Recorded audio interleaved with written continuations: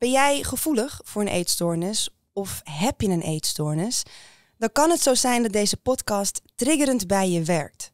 Weet dat er veel laagdrempelige hulp en online support beschikbaar is. Een overzicht daarvan vind je op de website firstaidkit.nl onder het kopje hulp zoeken. Ja, ze heeft het echt. Ik heb het er op een gegeven moment heel direct gevraagd. Toen vroeg ik of ze anorexia had. Uh, toen zei ze nee. Want later vertelde ze toen, ik had toen ook geen anorexia meer. Ik zat in een andere vorm van mijn eetstoornis. Mm. En uh, dus ze kon het gewoon glashard ontkennen. Ja. En zo, ja, terwijl ik het zelf heb gehad, toch kunnen ze het dus heel, heel goed verbergen. En daardoor ben je vaak al, al te laat, of in ieder geval laat. Ja, Ja. Te laat wil ik niet zeggen, maar laat. Welkom bij de First Aidcast. De podcast waarin we samen met inspirerende gasten en ervaringsdeskundigen een eerlijk gesprek voeren over eetstoornissen. Het is hoog tijd om het stigma rond eetstoornissen te doorbreken. Want als we elkaar beter begrijpen, kunnen we elkaar ook beter helpen. Welkom bij de First Aidcast, de podcast waarin we samen met inspirerende gasten en ervaringsdeskundigen een eerlijk gesprek voeren over eetstoornissen. Het is hoog tijd namelijk om het stigma rond eetstoornissen te doorbreken. Want als we elkaar beter begrijpen, kunnen we elkaar ook beter helpen. Ik ben Siane Mayam. Ik heb zelf geen eetstoornis gehad, maar heel veel vrienden van mij wel. En ik wil hen ja, beter begrijpen, zodat ik hen ook beter kan ondersteunen. We hebben het vaak gehad over hoe het is als jij een eetstoornis ontwikkelt. Maar ja, hoe is dat dan voor je naasten? Welke vormen van support zijn er voor hen? Daar gaan we het vandaag over hebben. Het is al wat drukker bij mij in de desk. Dat vind ik leuk, want normaal zitten we met z'n tweeën. Nu zitten we met z'n drieën. Ehm, bij mij zit Buiske Bonen. Buiske, jij bent voorzitter bij de Nederlandse Patiëntenvereniging voor Eetstoornissen, weet en bestuurslid bij de Nederlandse Academie voor Eetstoornissen. Klopt. Ja. En jij zit hier met je mama, mama Monica. Monica eh, he- heeft ook geworsteld met een eetstoornis. Ja, Dus Klopt. eh, dat vind ik heel bijzonder dat we dus met moeder en dochter daarover mogen praten.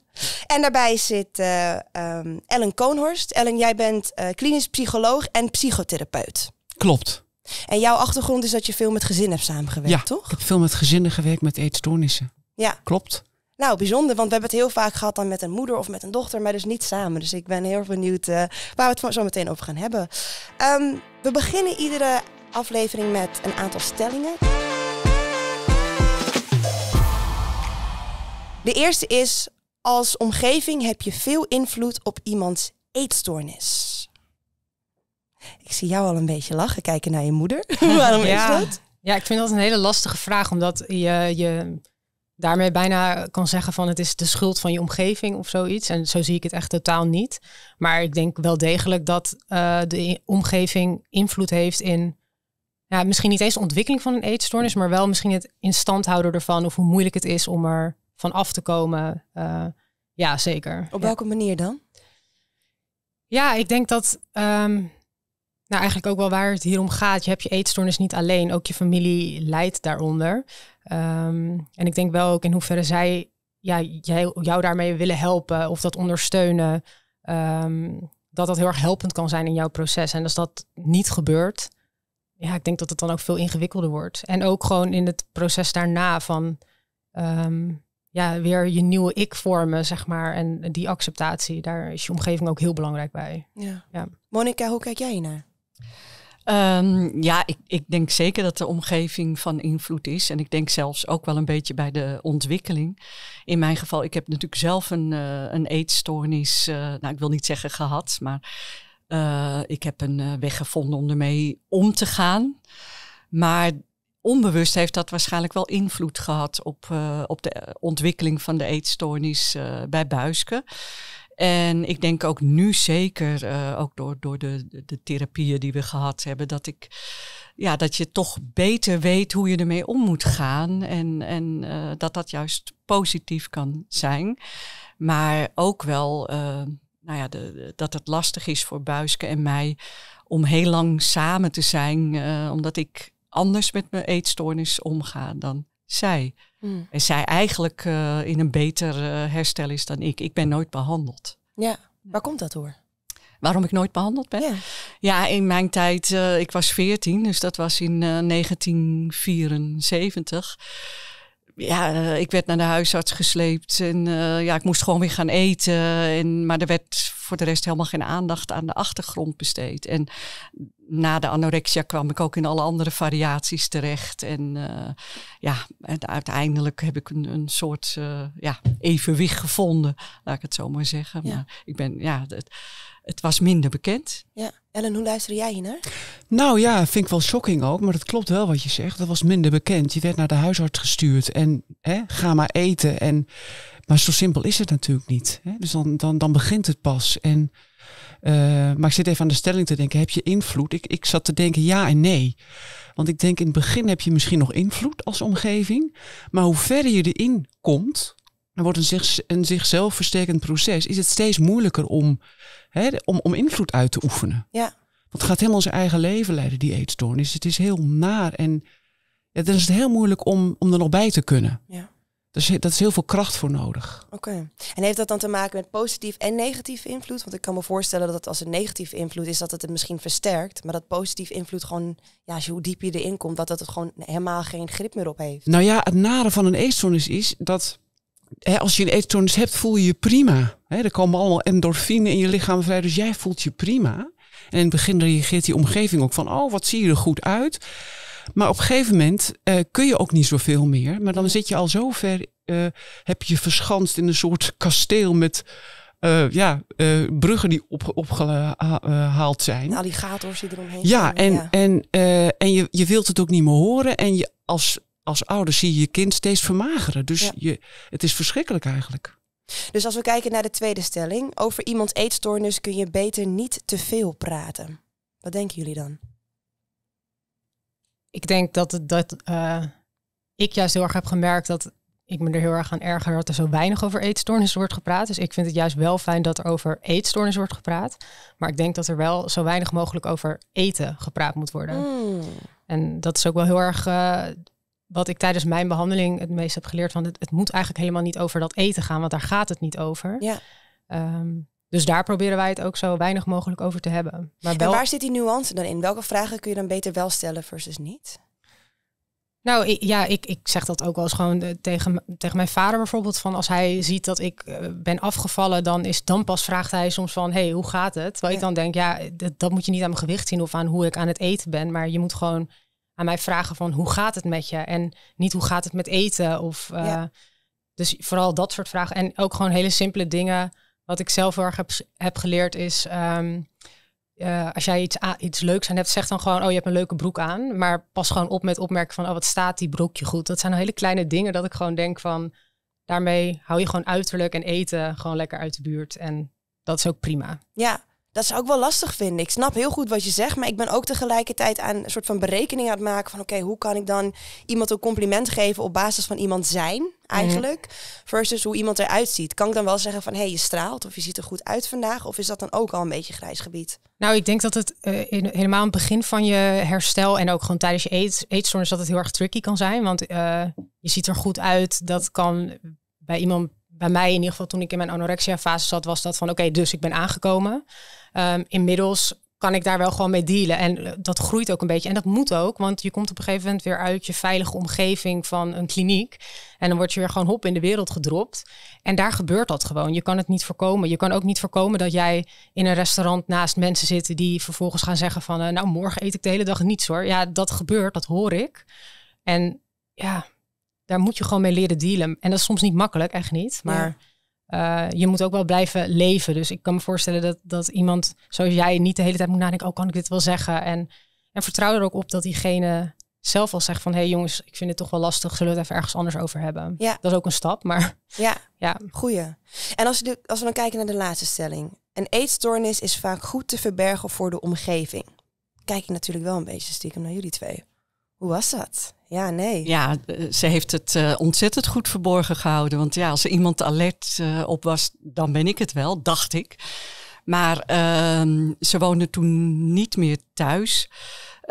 Ja, het afvallen heb ik eigenlijk niet zo gezien. En daar wil ik ook een beetje voor waarschuwen. Dat, dat we hebben niet alleen anorexia, maar we hebben ook andere vormen van eetstoornissen die, die ook echt heel gevaarlijk zijn. En um, ja, op een gegeven moment begon ze met vage klachten. Ze had last van de darmen. En ja, ze heeft het echt. Ik heb het er op een gegeven moment heel direct gevraagd. Toen vroeg ik of ze anorexia had. Uh, toen zei ze nee. Want later vertelde ze toen, ik had toen ook geen anorexia meer. Ik zat in een andere vorm van mijn eetstoornis. Mm. En uh, dus ze kon het gewoon glashard ontkennen. Ja. En zo, ja, terwijl ik het zelf heb gehad, toch kunnen ze het dus heel, heel goed verbergen. En daardoor ben je vaak al, al te laat, of in ieder geval laat. Ja, Ja. Te laat wil ik niet zeggen, maar laat. Buisk, had je verwacht dat je moeder het zou zien? Ja, op een gegeven moment denk ik wel. En op een gegeven moment denk ik ook dat ik dat wilde. Want eh, het is eigenlijk grappig wat jij net zei over ehm, in de anorectische fase. Dan, dat vond ik eigenlijk helemaal prima. En toen voelde ik me heel goed. En ik zat gewoon echt op, op een high. En eh, daar moest iedereen ook van afblijven. Terwijl toen ik bulimia kreeg, toen voelde ik me echt de grootste faal van de wereld. En ik kon gewoon echt niet meer dealen met die eetbuien en dan weer braken. En het ging maar door. Het, Ja. en daar wilde ik van af. En toen had ik gewoon zo erg hulp nodig. Dus ja, toen wel. Maar het anorectische gedeelte, dat, dat was wel anders. En dat is nu denk ik ook nog steeds je grootste battle, zeg maar. Die, die vindt het eigenlijk allemaal wel prima. En die vindt het allemaal wel chill. Terwijl ik weet dat als ik dat gewoon zijn gang laat gaan, dat dan de rest ook weer komt. Ja. En het daarbij gewoon echt niet gezond is. Dus ja, Ellen, volgens mij herken je dit. Goh, ik, ik Ja. ben wel onder de indruk van jullie verhaal ook. Hè? Want eh, net wat je zegt, eh, ja, als je, de, als je in een anorectische fase zit, is het heel moeilijk om je te bereiken. Maar de hel van een bulimia, dat is echt een hel. En de schaamte die daarbij komt, dat je denkt, hoe kan ik, ik schaam me diep, terwijl het is zo'n ellende. Ja, want ik Daar hoor je zeggen dat ze had gefaald. Dat gevoel Ja, dat ze faalt. Het is afschuwelijk. Hè? Je voelt je zo alleen en zo naar. En ga dat maar eens zeggen, dat is afschuwelijk. Maar het is eigenlijk wel te verwachten. Vaak komt bulimia na anorexia, omdat je, je put je lichaam zo uit, je mergelt je lichaam zo uit. Ja, Op een gegeven moment is er geen houden meer aan. Ja, dus bijna iedereen krijgt dat wel. Het is gewoon lastig, maar daar wil je ook voor zijn als behandelaar. Maar het is ontzettend moeilijk. Ja, maar wat ik me ook wel kan voorstellen is dat, ehm, weet je, Monica die ziet het op een gegeven moment, die, die kaart het aan, maar die gebruikt dan eigenlijk net de verkeerde taal of net de verkeerde benaming, waardoor zij eigenlijk zegt, nee, dat heb ik niet, want ze zit alweer in Ja. een andere fase.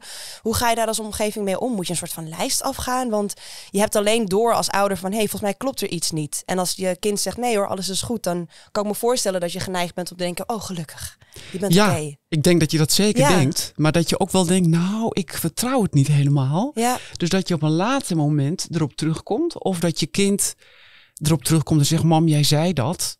Maar eigenlijk klopt het wel. En ik ben eigenlijk wel blij dat je het weet. Die Mm. Ja. opluchting, hè, dat je ouders het op een gegeven moment toch weten, kan heel groot zijn. Ja. En dat is natuurlijk een schok. Want net wat jij al zei, eh, Monica. Monica, hè? Ja. Je, wil, je wilt dat niet. Je wilt het niet aan je, als je zelf die ellende hebt ervaren, wil je dat niet doorgeven. Ja. Ja, soms gebeurt het toch. Ehm, laten we even kijken, want jullie hebben dus allebei een eetstoornis gehad. Buiske, dan begin ik bij jou. Sinds wanneer worstel jij eigenlijk met een eetstoornis?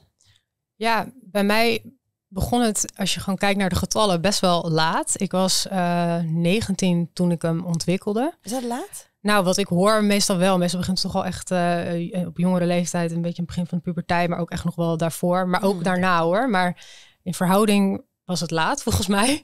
Ehm, ja, dus ja, rond, rond de 19. En het begon heel geleidelijk. Ik, eh, ja, ik wilde gewoon iets afvallen en dat, dat ging eigenlijk wel lekker. En op een gegeven moment merkte ik dat dat gewoon verslavend werd. En zo ging het steeds verder. En ehm, ja, uiteindelijk ontwikkelde zich dat dus ook door in bulimia. En is het eigenlijk een beetje afwisselend, anorexia, bulimia. Ik had echt fases. Ehm, dus ja, toen. En Monika, was jij, ook, was jij er ook bij op je negentiende? Was het al daarvoor? Nee, bij mij was het op mijn veertiende, dus echt eh, meer in de puberteit. En het begon ook eigenlijk op dezelfde manier. Ik vond mezelf een beetje te zwaar. En, ik, eh, en het knopje ging echt van de ene dag op de andere om. Echt Mm. van, van, nou, gewoon bijna niets meer eten. De, ja, heel snel ging dat. Maar is dat dan genetisch bepaald dat, als, dat je dat zomaar kan, zeg maar, dat zwart-witte denken? Nou ja, genetisch bepaald. Het is altijd ingewikkeld, hè? Uit een proefschrift van ehm, uit een proefschrift uit 2007 staat dat er wel genetische kenmerken zijn. Hè? En je moet natuurlijk, ja, je moet er gevoelig voor zijn. Niet Ja. iedereen die lijnt slaat door. Dus je moet een zekere gevoeligheid daarvoor hebben. Dat klopt wel. Ja. Maar had jouw moeder het door? Mag ik dat vragen? Viel jouw moeder het op? Of jouw Eh, ouders? ja, nee, dat is, dat, eh, ehm, dat is wel een grote vraag waar ik nu eh, mee zit. Want eh, ze leven allebei niet meer. Ah, Eh, ik weet wel dat ik terugkwam van een vakantie naar Oostenrijk, waar mijn vader niet bij was, want die moest werken. En ja, ik heb in twee, drie weken gewoon, nou ja, niets gegeten. En dat mijn vader het natuurlijk wel zag toen ik terugkwam van eh, wat is er met haar aan de hand. En dat was het moment waarop we dus inderdaad naar de huisarts gingen. En eh, ja, ze moet eten. En eh, hup, ik werd aan tafel gezet. ah ja. Maar ook daarna van, ja, dat je dan ziet dat iemand toch niet lekker in zijn vel zit. En ik kwam toen juist heel erg aan. En ja, ik denk dat voor hun een stukje zorg juist weg was. Van, ja, ze eten tenminste weer. ja, ja. Maar niet wat daarachter zat. En ja, in die tijd, eh, eh, een ander kenmerk is ook wel drank, drankgebruik. dat nam ontzettend toe bij mij. En, eh, dus ja, het- nee, dat is wel een grote vraag. Van, ja, waarom werd er niet, niet doorgevraagd? Ik denk wel, we hadden het net over genetisch. Ik, ik, verslavingsgevoeligheid zit Mhm. bij ons in de familie. Ik heb ook een broer verloren aan de, aan de, aan de drugs. En misschien dat de zorg daar ook, ook heel groot was voor mijn moeder. Dat ze zoiets had, oké, die zit weer op de rit, nu die Ja. andere weer. En ja, Kan je ook iets bij voorstellen? Hè? dat je als tuurlijk, moeder denkt, tuurlijk. nou, hè, ze ook, eet weer. eh, ja. Terwijl wat er van binnen bij jou gebeurt als je Nee, dan weer dat- eet, je voelt je verschrikkelijk. Hè? Ja. Ja. En inmiddels in de tijd van Buiske weten we dat het niet alleen maar om eten gaat, maar dat het eigenlijk veel groter is dan dat. Dus hoe was het voor jullie toen er voor jou ineens wel mogelijkheden waren om geholpen te worden? Ja, dat was ook wel heel dubbel. Want ehm, ik, ik heb in het begin heel moeilijk gevonden dat mijn moeder eh, destijds nog, zeg maar, toen ik begon met mijn behandeling, zei van ja, ik, ik heb een manier gevonden, ik heb een eetstoornis gehad, heel duidelijk. En dat ik me daardoor best wel zwak voelde. Dat ik dacht, ja, oké, mij lukt dat niet alleen, dus ik moet hulp gaan zoeken. Ehm, later kwam ik er ook wel achter dat ja, mijn moeder, en dat zegt ze nu ook, vind ik heel mooi van, ja, ik zeg niet dat ik hem heb gehad, maar ze heeft een manier gevonden om ermee te leven. En het is meer van, het is er nog. Ehm, en je vindt je weg ermee.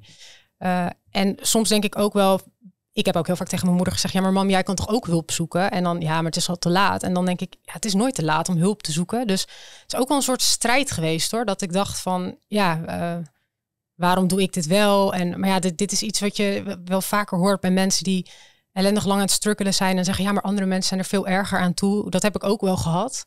Ehm, maar ik vind dat heel moeilijk, want ik vind dat er voor iedereen hulp moet zijn. Uh, en ik denk dat er in een eetstoornis, ja, je kan niet praten over erger of ja, ik, ik vind dat zo moeilijk. Dus ja. ja, dat, dat, dat heb ik ook bij mama. Ik vind van ja, zij kan nu nog steeds hulp krijgen voor de eetstoornis als ze dat zelf wil. Dat, dat vind ik heel belangrijk. Je moet het zelf willen. En wat is de reden dat je het niet wil of wilde? Nou, in het begin wilde ik het niet, omdat ik dacht van ja, weet je, ik, ik, ik ben niet meer ongelukkig ermee en ik, ik, uh, ik kan daar heel goed mee leven. Maar het, uh, het haalt je toch wel weer in. Mm. Op het moment dat ik en met de zorg voor Buiske en dat het op mijn werk niet goed liep, dan stort je dus toch in. En dat is dus ook gebeurd. En ik, uh, ik word nu niet behandeld voor mijn eetstoornis, maar ik, uh, ik zit wel met burn-out klachten thuis. En nu loop ik bij een psycholoog. En nu komt er pas uh, heel veel uit mijn verleden naar boven. Ja. Dus de achtergrond wordt nu wel behandeld, ja. uitgezocht. Van, dus het is niet een directe behandeling tegen de eetstoornis, maar wel, goh, wat heb je veel meegemaakt in je jeugd? Maar Buiske, heb je niet heel veel steun gehad aan het feit dat je moeder ook met een eetstoornis ja, worstelde? Ja, ik merk nu steeds meer wel. Ook uh, voornamelijk in dit proces dat ik ook eigenlijk gewoon ja, het moet gaan doen zonder behandeling. En ja, eigenlijk gewoon weer het normale leven inrol. Uh, dan merk ik gewoon dat mijn moeder eigenlijk de enige is die me echt begrijpt. Um, ja, ook, ook met vrienden, maar ook met de rest van mijn familie. Niemand weet wat een eetstoornis is. En je kan het proberen uit te leggen, maar toch begrijpen ze het niet helemaal. En ja, dat is bij mijn moeder. Uh, je hebt aan één woord zeg maar genoeg. En dat maakt het ook heel fijn om bijvoorbeeld weer met uh, vriendinnen vanuit de kliniek af te spreken. Dat je hebt aan één woord genoeg. Want zij weten wat het is. En ja, die steun nu heb ik daar echt uh, veel aan. Ik, ik denk tijdens mijn behandelingen zo niet heel veel. Maar dat is misschien ook omdat we nog zo recht tegenover elkaar stonden. En meer die gevecht van die eetstoornissen. maar nu qua begrip is dat ja, heel fijn. Ja. Hoe kijk jij ernaar, Monika? Ja, ik, ik voelde het precies zo inderdaad uh, in het begin niet. Omdat ik dan misschien zelfs ook nog wel in die ontkennende fase zat. Van ja, weet je, bij mij is het klaar. Ik ben er klaar mee. En uh, uh, zoals ik het heb opgelost, kun jij het ook oplossen. En, ehm, maar nu zeker, ja, ik begrijp haar. Ik, ik, ik voel wat zij voelt. En ja, dat zei ik al, die, die, die eenzaamheid hè, die je kan voelen. Nou, dat is zo herkenbaar. En en ook ja, dat, dat, je, dat ik af en toe doorprik als zij zeggen, ja, het gaat wel goed. En uh, dat ik weet, ja, dat kun je wel zeggen. Maar dan ga ik toch even het gesprek aan en ietsje verder van, uh, ja, gaat het nou eigenlijk echt wel goed? Of, ja. En soms gaat het dan ook helemaal niet over het eten. Of, uh, maar hoe voel je je inderdaad? Ja. wat heb je gedaan? ja, hoe zit je in je vel? Ja, en hoe was het voor jullie omgeving als je dan twee mensen in het gezin hebt dat, ja, die allebei borstelen met een eetstoornis? Ja, ik denk dat dat voor mij, uh, um, behalve Buiske, de anderen niet zo in de gaten hebben gehad. Omdat ik inderdaad er prima uh, een, een, weg in had gevonden. Alleen dat het vooral voor Buiske uh, moeilijk was. En dat ook voor de anderen de eetstoornis van Buiske ja, het grootste probleem was. Ja, ja, ik heb me daarin echt, echt een zondebok gevoeld. Ja? ja, ja, absoluut. Ja. Het was echt, mijn eetstoornis was het probleem. Um, en die van mama was er eigenlijk niet. En dat uh, heeft het heel moeilijk voor mij gemaakt. Ook om dan uit te leggen wat ik dan moeilijk vind aan thuis zijn. En uh, ja, heel erg. Want wat vond je dan moeilijk aan thuis zijn? Nou ja, dat, dat je eigenlijk zeggen ze in, in mijn behandeling zeiden ze ook van probeer je het omringen met mensen die geen eetstoornis hebben of in goed herstel zijn. En wees ook hard van als mensen helemaal terugvallen, kies voor jezelf. En ik leefde eigenlijk samen met iemand die in mijn herstelogen niet in goed herstel is. En daar moest ik mm. maar een beetje mee dealen. En ehm, als ik daar iets van zei, dan was ik het probleem, zeg maar. Dan was, was mijn eetstoornis weer aanwezig. Ja. Dat, uh, ja. En hoe is de situatie nu? Nou, ik denk dat de situatie gewoon nu beter is, omdat ik ook gewoon, ik ben uiteindelijk in Zuid-Afrika terechtgekomen. Dat is heel goed geweest, want ik ben gewoon echt een half jaar weg geweest van mijn hele thuissituatie. Um, en toen ik terugkwam uit Zuid-Afrika, ben ik eigenlijk best wel snel weer uh, op mezelf gewoon gaan wonen of met een huisgenoot. En dat heeft gewoon heel erg geholpen. Dat maakt de situatie gewoon veel gezonder. Dat, ja, dus, en ik probeer ook daarin wel, ook qua vrienden, um, maar ook inderdaad niet te veel te omringen met mensen met eetgestoord gedrag of een eetstoornis. En Omdat het een trigger kan zijn voor jou. Absoluut. Ja. ja. En dan, ja, dan ik, als ik dan kijk naar mijn huisgenoot, nou, dan ben ik er gewoon zo dankbaar dat ik echt de meest normale huisgenoot qua eten heb. Dus ja. niets lekkerder dan dat, zeg maar, dat ik dat nu heb. Ja, ja dat is echt. Uh, ja, heel fijn. En hoe helpt dat jou dan? Is, is, ik weet niet met wie je samen woont, een man, vrouw? Vrouw. En zij kookt dan gewoon en dan is het van je kijkt maar of je mee eet of niet, zonder dat er dus iets van een waardeoordeel is? Nee, eigenlijk eten we opvallend weinig samen. Ook omdat zij misschien wel helemaal niet echt een regelmaat heeft. Maar ook dus gewoon midden in de nacht kan denken... ja, ik heb nu zin in pizza en ik ga die pizza eten. En gewoon helemaal niet bezig met calorieën en echt totaal niets. Ze heeft geen idee. En ja, ze doet gewoon zo haar ding. En ja, ik merk gewoon dat dat gewoon zo fijn is. Dat Klinkt ik heel vrij, inderdaad. Ja, ja, en dat ik haar ook echt wel heb moeten zeggen van in het begin ging wel eens een ijsje halen en dan wilde zij hetzelfde doen als wat ik deed, want dan wilde ze me steunen. Terwijl ja, zij is gewoon niet zo gek op ijs als dat ik dat ben.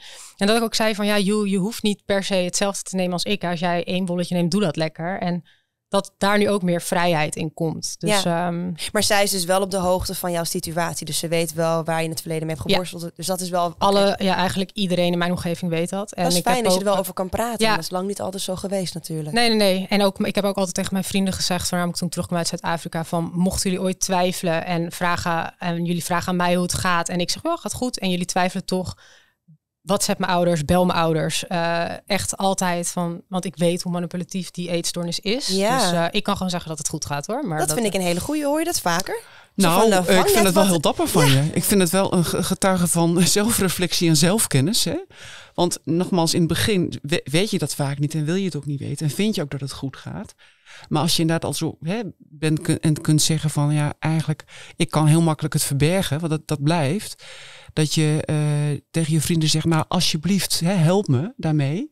En trouwens, ik hoor wel, ik heb wel vaker gehoord van hè, jongeren die, die aan het genezen waren van, wat heel erg helpt is je, je, je optrekken aan iemand die heel gezond eet.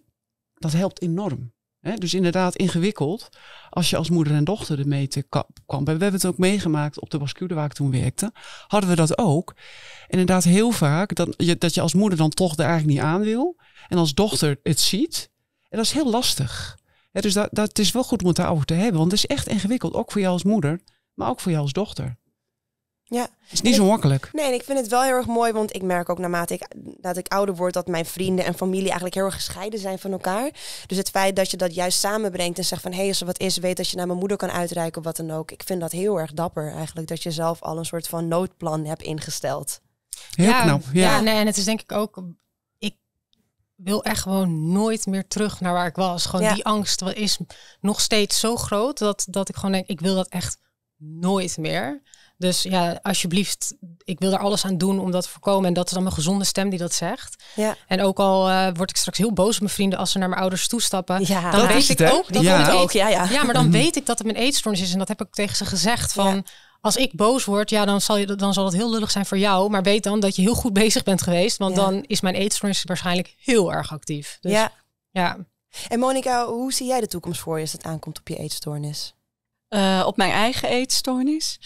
Ehm, ja, dat, dat vind ik echt een hele moeilijke vraag. Kijk, ik ben nu wel dan bezig om eh, mijn eigen verleden een beetje uit te pluizen in de achtergrond. En ja, nogmaals, ik, ik heb voor mezelf gewoon een, een weg gevonden waarbij ik me prima voel. Maar ik, ik snap, dat blijft lastig natuurlijk eh, in combinatie met eh Buiske de herstel. En ehm, ja, het is echt een hele goede vraag. Ik vind het een moeilijke vraag om te beantwoorden. Ook ja, ga ik er nou wel wat aan doen of niet wat aan doen? Ja. Is het oké zoals ik nu ben en dat ik snap waar het vandaan komt? Of ja, het is. Het is eh, Maar goed, je hebt in ieder geval, je wordt nu behandeld voor je burn-out klachten. Wellicht Ja, dat er ja. daarna ruimte ontstaat, ontstaat als je nou, denkt dat, van, ja. dat, dat zou kunnen. Ja, ik, ik ben me er in ieder geval wel veel meer bewust van. Dat, dat ik nog steeds eh, eetgestoord gedrag eh, vertoon. Maar dat vind ik En, al een eh, verschil, hè? dat je ja. bewust bent en niet ontkent. Hè? En je hebt Oh, nee, dat doe ik hè, niet meer. Jij mag bepalen wat je, of je in behandeling gaat of niet. En dat is voor mij ook heel helpend. Dat Ja. het niet meer ontkend wordt, zeg maar. Voornamelijk gewoon door mijn moeder. Dan moet ik zeggen dat de omgeving soms nog wel dat kan ontkennen. Van dat het probleem helemaal niet bij mama ligt. Maar dat ze dat gewoon zelf kan. Dat geeft mij al gewoon een gevoel van... Oké, zij heeft ook haar battle. Weet je, het is voor haar ook niet makkelijk. Ja. Dus kan er ook niet boos om worden of zo. Ehm, ik zou graag met jullie willen kijken naar een best en een worst day. En dan gaat het niet zozeer over wat iemand at of hoe iemand eruit zag, maar veel meer over het gevoel wat daarachter zat. eh, om ja, anderen beter te kunnen begrijpen. Dus um, dan begin ik bij jou. Op welk moment voelde jij je het meest angstig of eenzaam in je eetstoornisperiode? Eh, ja, dat is een periode geweest eh, vlak voordat ik naar Zuid-Afrika ging. Toen ik eigenlijk in Nederland een beetje van kliniek naar kliniek werd gestuurd, maar nergens behandeld kon worden. Eh, ik was toen ook echt heel erg suicidaal. Ehm, ja, die periode. Gewoon, ik had het idee, ja, eigenlijk niemand begreep me. Ik woonde toen ook weer even bij mijn ouders, dus je bent niet alleen, maar ik was heel erg alleen. Ehm, ja, gewoon die hele, ja, dat is echt een hele zwarte periode geweest. En waarom kon je toen niet behandeld worden? Ja, eigenlijk gewoon overal waar je in Nederland kwam, dan ik paste dan net niet in de behandeling die zij aanboden. Bij de ene kliniek was het dan, ja, je hebt niet puur anorexia of puur bulimia, dus je past hier niet in de groep. Of ik was te erg eigenlijk, dus dan durfde ze het niet aan. Ehm, ja, echt verschillende redenen eigenlijk. Eh, ja, Maar dat is toch onwijs frus- frustrerend. Want dan weet je dat je geholpen moet worden, je wil geholpen Ja. worden en dan word je overal weggestuurd. ja. Afschuwelijk. Had het te maken met de suicidaliteit misschien? Nou, dat, dat niet eens eigenlijk. Nee. Dat heb ik nooit echt teruggehoord. Nee, ik denk, eh, maar ja, ik, ik ben niet de enige hoor die tegenaan loopt. Ik ben ook niet Ja. voor niets natuurlijk bij een patiëntenvereniging gegaan, omdat dit stukje me ook nu nog steeds boos maakt. Want ik hoor het ik. nog steeds. Ja. Eh, en ik zou er Ja. heel graag iets aan willen doen. Alsof je het iemand in een hokje kunt plaatsen. hè, Van je hebt net dat kenmerk niet, dan kunnen we je niet helpen. is natuurlijk eigenlijk absurd, hè? Ja. Want de, je, je lijkt natuurlijk niet op een andere patiënt in feite. Hè? Voor, een deel, voor een deel ook niet. Nee, en, Het is ja, wel erg ja. om te horen dit. Ja, en sowieso gewoon, er, er komen wel meer, dat hoor je ook heel vaak, dat mensen bijvoorbeeld dan ook nog naast een eetstoornis autisme hebben of inderdaad depressie. Ehm, en dat het dan niet tegelijkertijd behandeld kan worden. Terwijl ook dat heel erg belangrijk is. Want Ja. ga in iemands eetstoornis zitten en dan komt er iets anders wel weer Ja. naar boven. Ja. En eh, ja. dat heb ik ook heel erg gemist in behandelingen hier. Dus wat had jij toen nodig? Wat had jou toen geholpen? Zuid-Afrika. Ja. ja. dat is voor mij echt, ja, echt mijn redding geweest. Dat, ja, en, waarom precies kan ik niet zeggen, maar de behandeling daar is zo anders dan in Nederland. Oh, vertel. Ja, ik, ik kan. Het is. Um, ze hanteren daar sowieso. Ze zien je eetstoornis echt als een verslaving. Dus je komt ook echt wel terecht in zo'n ja, 12 steps uh, programma. Dus van de. Uh, ja, je hebt dat dan voor de alcoholisten Anonymous. En dan, ja, ik kwam dan in Eating Disorder Anonymous terecht. Um, het is, ja, het voelt misschien soms bijna wel als een strafkamp in het begin. Echt, eh, je komt daar binnen, je koffer wordt gestript. Uh, je wordt in een kamer geplaatst met camera's. Je denkt, waar ben ik? Maar juist dat, mijn eetstoornis kreeg gewoon vanaf dag 1 0,0 ruimte. Hmm. En heel geleidelijk kwamen die stapjes erbij.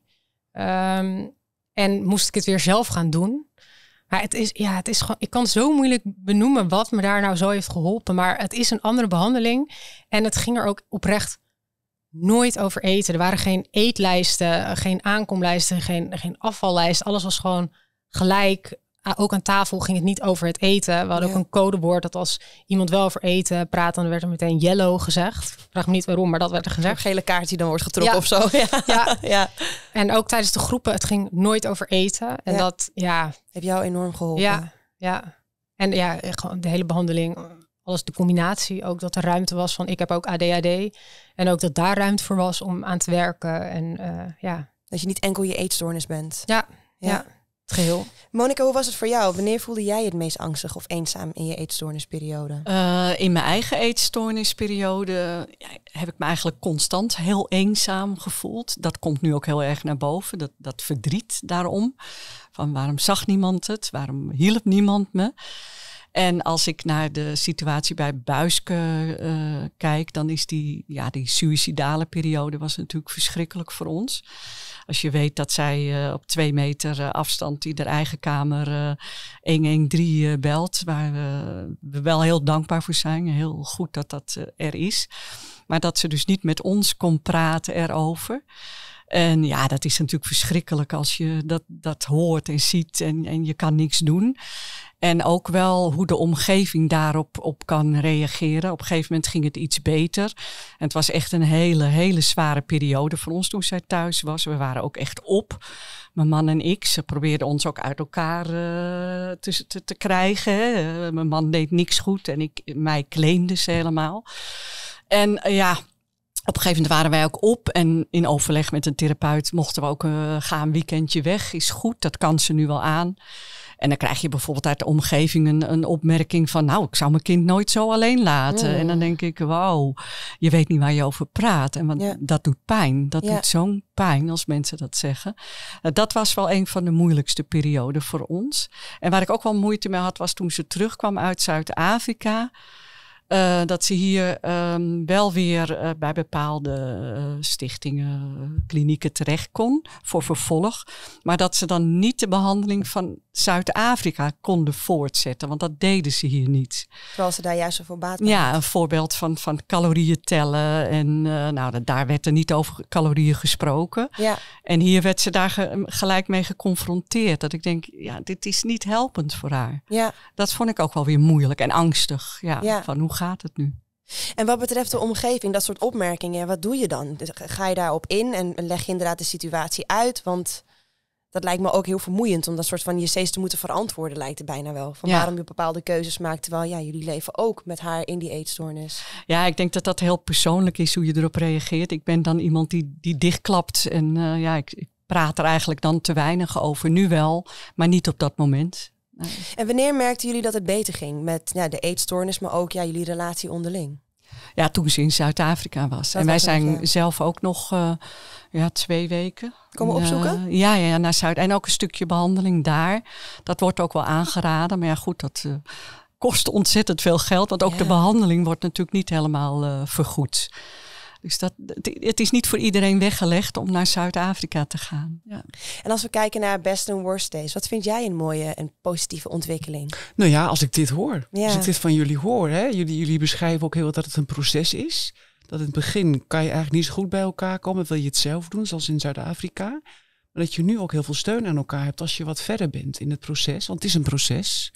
Het gaat niet, het staat echt wel een tijd voor. Ja, dat vind, ik, dat vind ik op zich heel mooi om te zien. Ja. En het komt ook wel overeen met, ik kom vaak nog mensen op de brug tegen ehm, van mijn oude werk.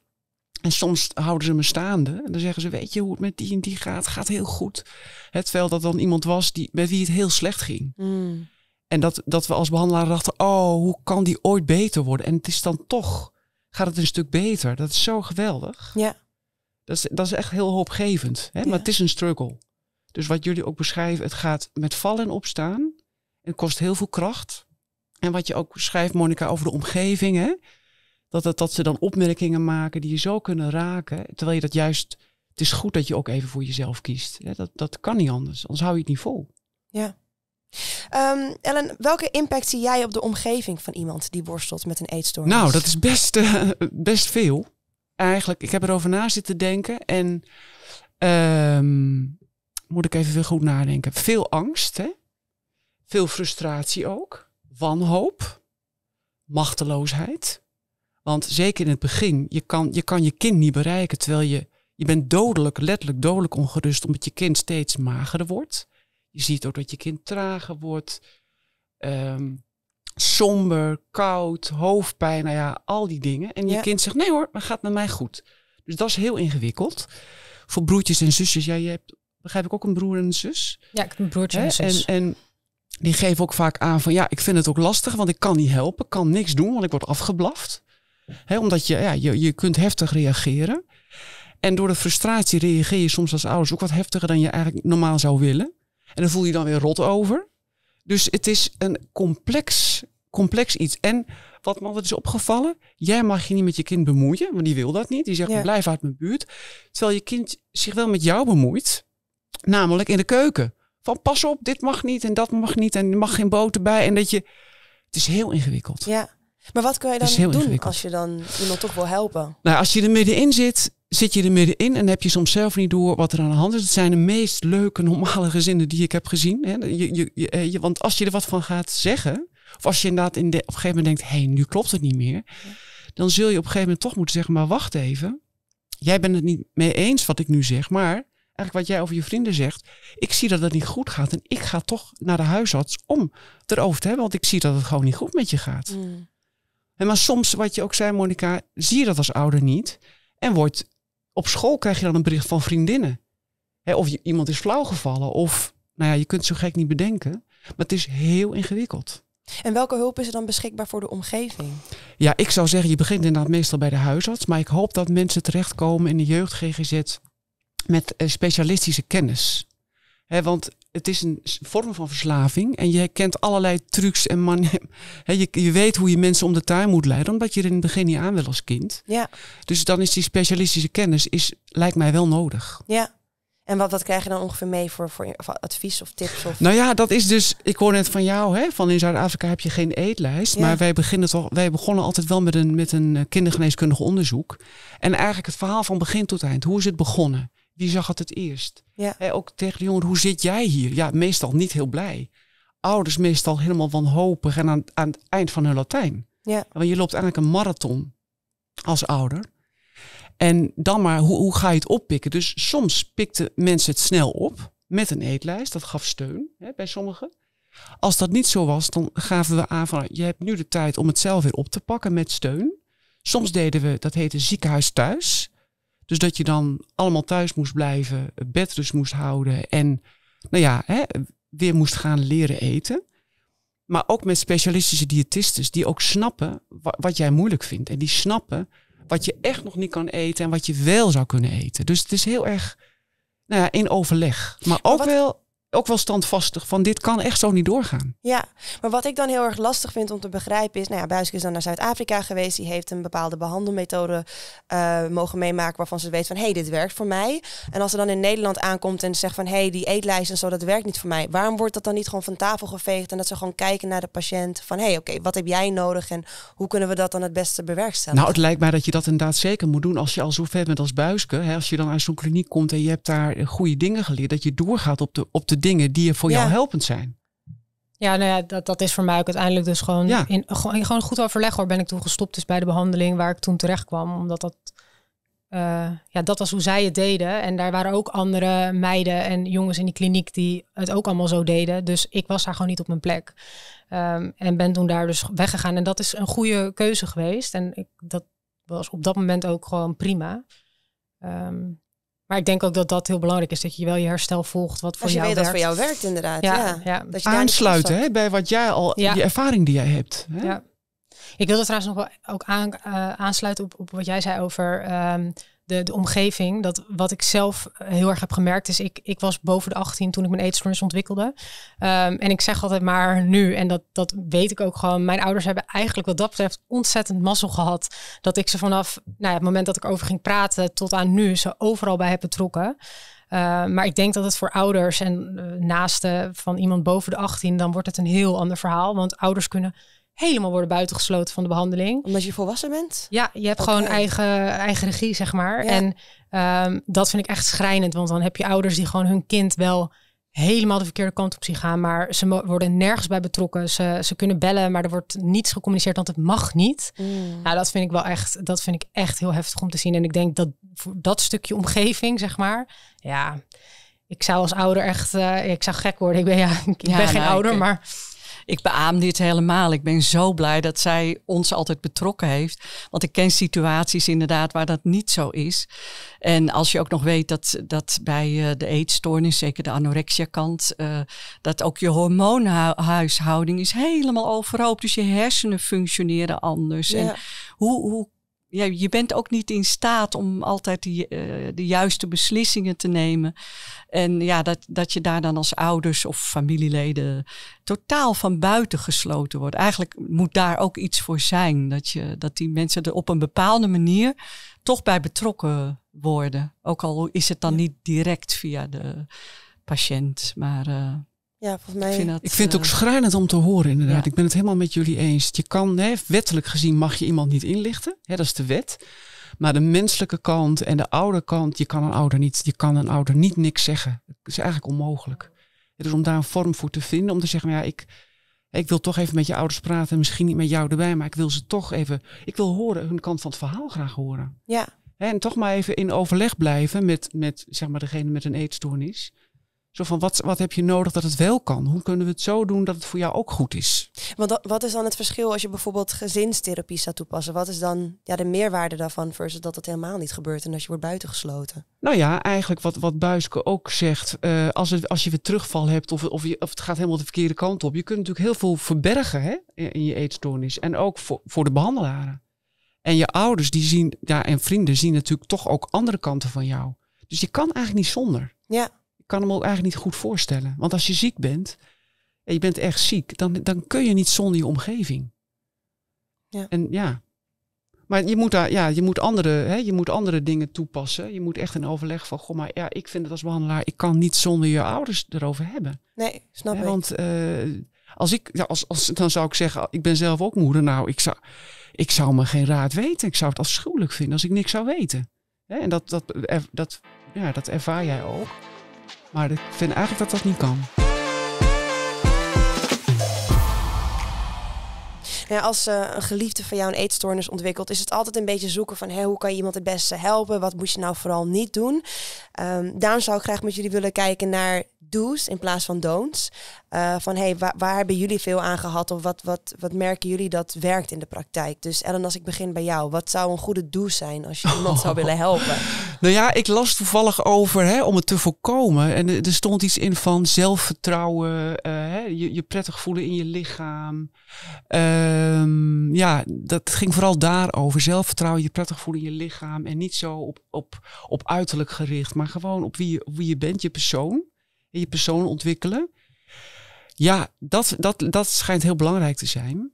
Maar vanuit de omgeving, dat Ja. je dus daar, als je bijvoorbeeld een compliment geeft, dat je daar een compliment op maakt, Ja, je bijvoorbeeld als iemand heel creatief is, of veel Ja. van lezen houdt, of eh, eh, met hobby's, hè, of, of ja, eh, heel, heel belangstellend is, dat je kan zeggen, goh, wat, wat doe je dat toch goed? En eh, goh, ik vind het zelf heel lastig, maar wat, wat, wat doe je dat toch goed? Dat je daar ook, ja, want in die, in die puberteit ontwikkel je natuurlijk op heel veel fronten. Nou ja, wat jij zal, die hersenenontwikkeling, je lichaam, alles hè, staat op, op, op springen, zeg maar, op, op ontwikkeling. En dat wordt echt heel erg ernstig verstoord. Ja. En Buiske, wat was voor jou een goede doel wat mensen om je heen hebben gedaan voor jou? Jeetje, ja. ehm, ik zat eerder even aan don'ts te denken eigenlijk. Maar uh, ja, do's. Ja, ik denk voornamelijk het, het stukje dat, dat ik heel duidelijk het verschil had tussen dit is mijn, uh, mijn therapeut en mijn behandeling. En nu ben ik met mijn vriendinnen en met mijn ouders. En die moeten niet mijn, degene zijn die zeg maar de zorg voor mij dragen. Uh, ja, wel gewoon de ouderlijke zorg, maar niet dat zij mijn therapeut worden. Dus dat, dat, dat is voor mij echt wel een doel. En um, ja, en ik denk gewoon inderdaad het toch echt vaker praten over hoe het echt met iemand gaat en wat er in iemand speelt. En ook gewoon dat die gevoelens er mogen zijn. Dat er mogen soms gesprekken aan tafel gevoerd worden die niet makkelijk zijn. Mm. Um, dat daar ruimte voor is, hoe ongemakkelijk en pijnlijk het soms ook is. Het mag. Um, ja, dat, dat vind ik echt do's. Ja. En Monika, als, als we kijken naar de do's, wat, wat heeft jou geholpen? Of wat helpt jou nu? Um, nou, in ieder geval uh, uh, tussen Buiske en mij uh, inderdaad het ja, doorvragen, goede gesprekken voeren, het niet te veel over haar uiterlijk hebben. Of, dat is wel eens moeilijk als ik dan weer zie dat ze toch weer wat dunner is. Van, maar daar probeer ik dan, dan, dan vraag ik eerder hoe gaat het met je en ja. wat heb je gedaan, hoe is het dat? En um, ja, wat ik er ook, ik ben natuurlijk ook leerkracht op een, op een basisschool. Wat ik er zelf ook wel van geleerd heb, is, is um, ja, ook op jonge leeftijd echt al goed kijken naar die kinderen. Wat ik wel eens lastig vind, nou ja, de werkdruk is hoog in het basisonderwijs. En ik zou zo graag wat meer goede gesprekken voeren met kinderen. Maar daar is mm. eigenlijk te weinig tijd voor. Ja. En niet alleen met dat kind wat opvalt, want die pik je er wel uit. Maar juist ook die kinderen waarvan je denkt, ah, die, die gaat wel lekker. Maar is dat wel zo? Ja. ja. En, uh, dus ja, en daar heb je weinig tijd voor. En ja, misschien moeten we daar toch ook eens wat meer naar kijken om dat te creëren. Of een leerkracht of iemand van buitenaf die dat eens doet. Uh, ja. Mooi idee. Ik denk dat je veel kunt voorkomen. En ja, wat is beter? Hè?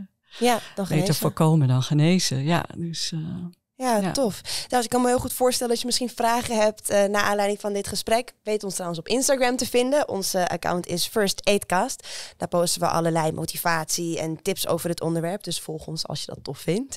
Uh, maar ik vind het heel erg bijzonder dat, uh, ja, dat ik hier met jullie heb mogen zitten en hierover praten. Want vaak praat je natuurlijk met één kant van het verhaal. En ik vind het heel erg mooi dat jullie eigenlijk een eigen journey hebben gehad. Maar daarin elkaar ook weer hebben gevonden en steun hebben ge gevonden in elkaar. Dat, ja, Buiske, wat ook zegt van aan één woord heb je eigenlijk genoeg.